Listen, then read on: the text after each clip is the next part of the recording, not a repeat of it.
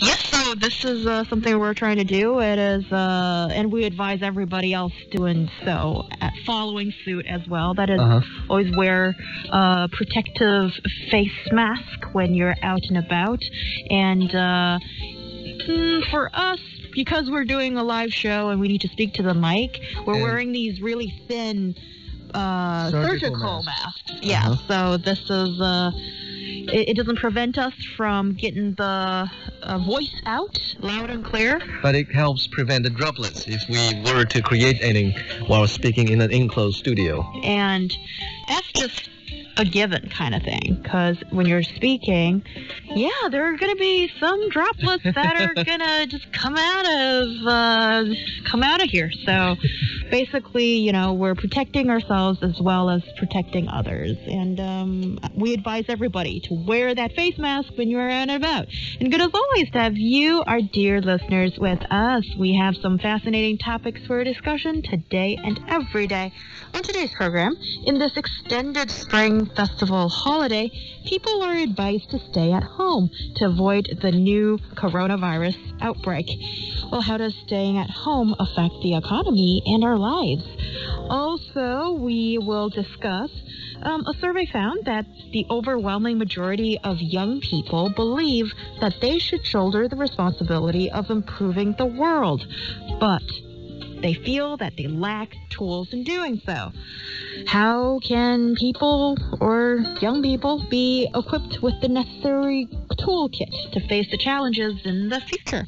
You can find us on Apple Podcast at Roundtable China. Subscribe, rate, and review us. You can also send us an email or a voice question to ezfmroundtable at foxmail.com as we have a special segment devoted to answering your voice questions on the live show. So to participate, to let us know what's on your mind, and all that, please send in that voice memo. We would appreciate it greatly.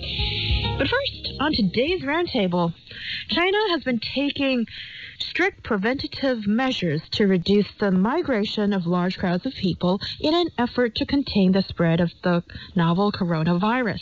Since the beginning of China's Lunar New Year holiday, shopping malls, restaurants, cinemas, and tourist sites where people usually gather together have been stripped of their customers as people decide to stay in to avoid the virus. So, well, this New Year's holiday and extended this holiday period has been a special one. Um, what is the current situation? Well, according to the nation's top economic regulator, the ongoing coronavirus outbreak will have temporary, limited economic effects, but it won't leave a permanent mark on the Chinese economy due to the country's strong economic fundamentals. And this is according to uh, Lian Weiliang, who is deputy head of the National Development and Reform Commission. And, and he said introduced. He said that in comparison with the 2002-2003 SARS epidemic, China's economic strength, material and goods accumulation, and ability to cope with emergencies are significantly stronger than the, than that period. And the spread of the virus has sparked concerns among Chinese investors and sent China's A-share market tumbling on Monday as the first trading day after the extended Lunar New Year holiday.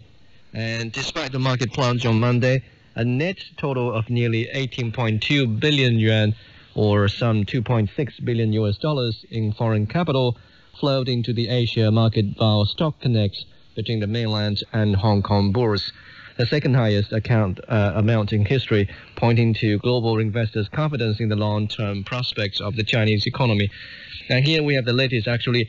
Uh, that uh, market uh, plunge in uh, on Monday actually was followed by rebounds in the A-share market on Tuesday and Wednesday, and also I think Kongyeban, I, I, if I remember it correctly, is ChiNext board, uh, a board within the uh, stock exchange.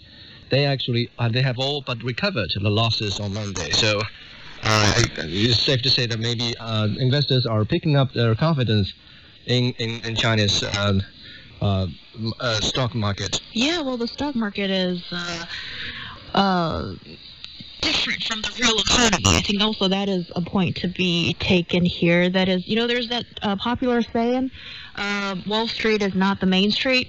So, I, but it is an indicator of confidence in how investors see the near future, that kind of thing. And uh, recently, also the national government, especially the financial authorities and regulators, have been rolling out policies to restore uh, confidence, and also some of these policies have had a relatively immediate effect, as we can see that the shares rebounded uh, today. So.